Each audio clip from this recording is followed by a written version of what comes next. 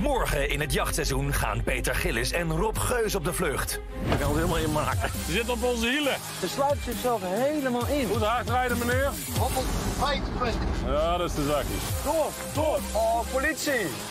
Het jachtseizoen. Morgen om 8 uur op 6.